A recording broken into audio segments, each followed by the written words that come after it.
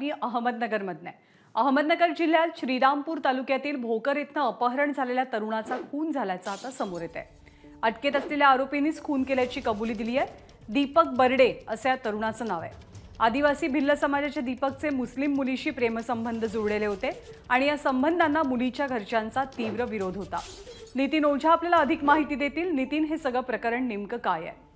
ज्ञानदा निश्चितच एकतीस ऑगस्टला हा जो दीपक बर्डे आहे हा बेपत्ता झाल्याचं पोलिसांना समजलं होतं. त्यानंतर गेले अनेक दिवस याचा शोध सुरू होता. मात्र त्याचं अपहरण करून घातपात झाल्याचा संशय बर्डेच्या कुटुंबियांनी केला होता आणि त्या अनुषंगाने दोन दिवसापूर्वी भाजपचे आमदार नितेश राणे यांनी श्रीरामपुरात जन आक्रोश मोर्चा देखील काढला होता.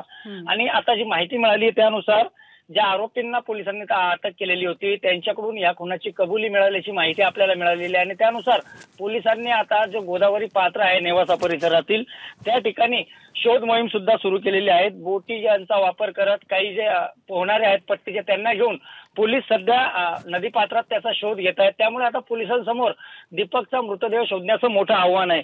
एकूणच जर पाहिलं तर श्रीरामपूरमध्ये गेल्या काही दिवसांपासून लव जिहादच्या चर्चा सुरू होत्या. अनेक मुद्दे सुद्धा समोर आले होते. आणि त्यातच आता दीपकचा हा खून झाल्याचं समोर आल्यामुळे कुठेतरी आता पुन्हा एकदा एक खळबळ उडाली आहे. ज्ञानदा. नितीन धन्यवाद या सगळ्या सविस्तर माहितीबद्दल. एबीपी माझा. उघडा डोळे बघा नीट.